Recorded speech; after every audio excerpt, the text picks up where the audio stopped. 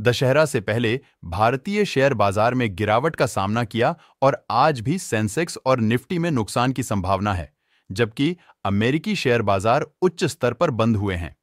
एशियाई बाजारों में मिला जुला कारोबार दर्ज किया गया है चीन के प्रोत्साहन योजनाओं के बीच।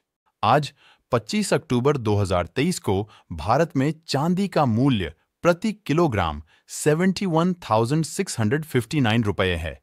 होनासा कंज्यूमर की पेरेंट कंपनी मामा अर्थ का आईपीओ 31 अक्टूबर को सब्सक्रिप्शन के लिए खुलने वाला है, जिसमें उन्होंने 365 करोड़ रुपए के फ्रेश इक्विटी शेयर जारी किए हैं और यह ओएफएस के तहत और बिक्री की जाएगी।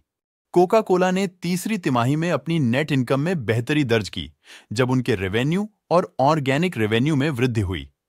कंपनी ने कीमतों में बढ़ोतरी की है, जबकि उनकी वॉल्यूम ग्रोथ में बढ़ोतरी दर्ज की गई है।